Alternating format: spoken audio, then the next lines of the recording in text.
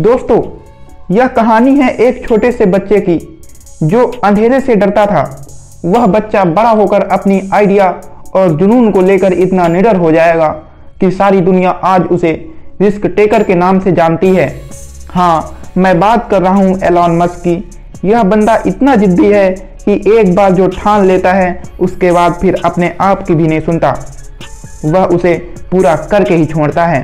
दोस्तों जब Elon Musk ने अपनी कंपनी ग्यारह सौ करोड़ में बेची तो वह चाहते तो पूरी ज़िंदगी ऐसो आराम से गुजार सकते थे।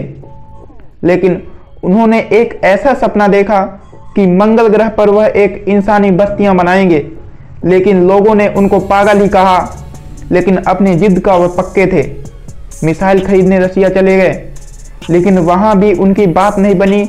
वह ठान लिए कि अपना खुद का रॉकेट बनाएँगे। उन्होंने अपनी टीम इकट्ठी की। शुरुआत में उनकी तीन मिसाइलें फेल हो गई। फिर उन्होंने अपनी बची हुई जमा पूंजी से और अपना घर गिरवी रखकर फिर एक बार अपना सब कुछ दांव पर लगाकर काम किया। इस बार वह कामयाब हो गए। एलॉन मस्क की कंपनी दुनिया का पहला रीयूजेबल रॉकेट बनाने की कंपनी बन गई।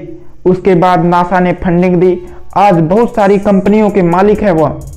दोस्तों कामयाबी की आइडियाज़ सबके पास होते हैं, लेकिन उस आइडियाज़ को अपनी रियल लाइफ में बदलने के लिए पागलपन लाखों में से किसी एक के पास होता है, लाखों में से किसी एक के पास ही भीड़ से अलग चलने का हौसला होता है।